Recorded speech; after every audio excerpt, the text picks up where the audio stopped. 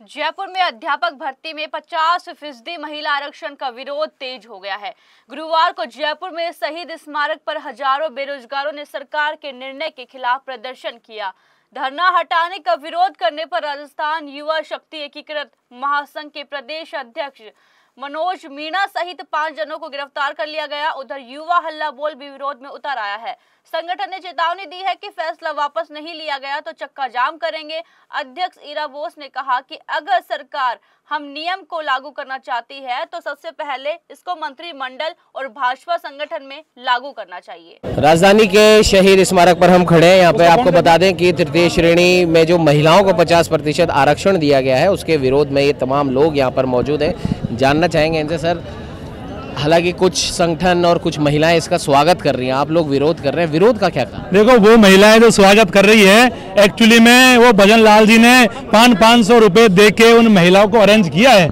क्योंकि महिलाओं तो जो राजस्थान की पढ़ने वाली महिला है, वो तो स्वागत करने के लिए पहुँच नहीं रही। महिला कौन पहुँच रही है? जिनकी उम्र पचपन साल है, पचास साल है, वो तैयारी करती नहीं। क्योंकि जो बहनें तैयारी कर रही है, उनके भाई तो यहाँ पे और उन बहनों की सहानुभूति है कि इस बिल को वापस लिया जाए। और सरकार वोट बैंक की राजनीति के चलते इसको लेके आई है। और कोई तो उद्देश्य नहीं है। सरकार बिना कोई पॉलिसी के, बिना कोई सोची समझी रणनीति के तहत बस आनंद पानंद में जारी कर दिया वोट बैंक के लिए।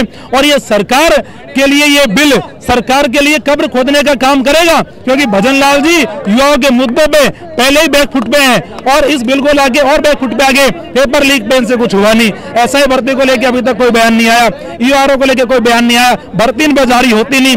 ऐसा इन्होंने आरक्षण लेके आए हैं, जो समाज में तनाव की स्थिति पैदा कर रहे हैं। अगर फिफ्टी सीटें सीधी रिज़र्व रखी जाती है, उसके बाद में छह परसेंट सीटें जो डीओसी है, जो विधवा है, उनको मिल जाती है।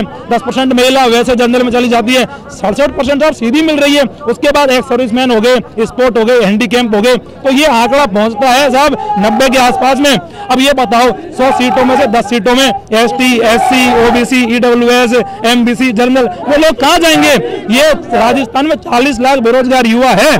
उनके साथ में भजन लाल सरकार ने ये हत्या करी है।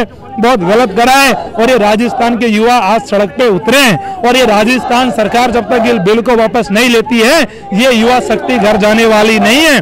मजबूती से एक लंबा संघर्ष तृतीय श्रेणी वर्ग का रहा है भले ही वो स्थानांतरण की बात को लेकर हो या फिर पदस्थापन की बात को लेकर हो।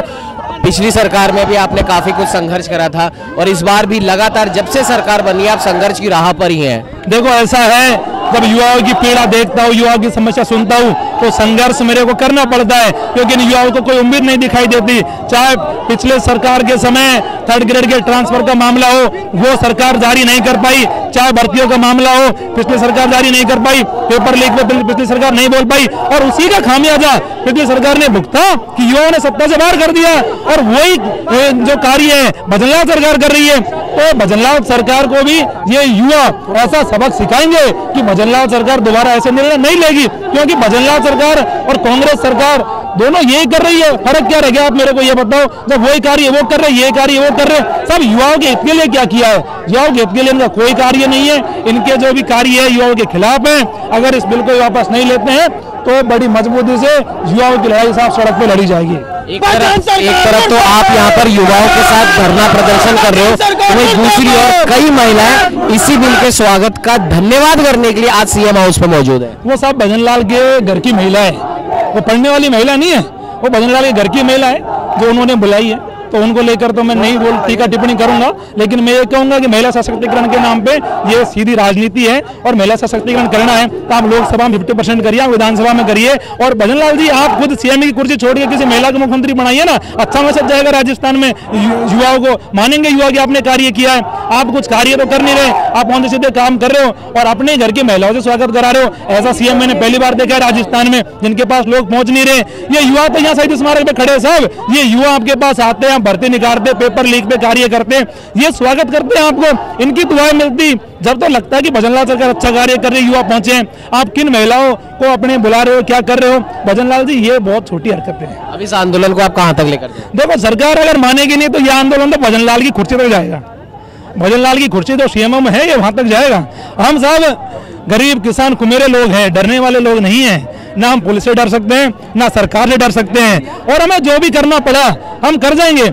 हम साहब, हम शहीद भगत सिंह की आइडियोलॉजी को फॉलो करने वाले लोग हैं। हमारे अंदर कोई डर नहीं है। हम तो कपन बाँध के निकलते हैं, या तो सरकार इस बिल को वापस लेगी, या फिर हम घर ही नहीं जाएँगे। तो हमारे कोई फ़र्क नहीं पड़ता है, लेकिन सरकार को बिना झुकाए मनोज मीणा तो पीछे नहीं हटेगा। तो आपने देखा, ये तमाम जो बेरोजगार युवक है, तृतीय श्रेणी में महिलाओं को जो 50 परसेंट आरक्षण जो दिया गया है, उसके विरोध में आज ये राजधानी जयपुर के शहीद स्मारक पर आज ये इकट्ठे हुए और उनका साफ़ तौर पर कहना है कि जब तक इस बिल को वापस नहीं लिया जाता, तब तक इनका ये धरना प्रदर्शन लगातार जारी रहेगा। हो सकता है इनका यह आंदोलन भजनलाल सरकार के कुर्सी तक जा पहुँचे। सहयोगी कैमरामैन अजय के साथ उमंग माथुर, जनता दरबार।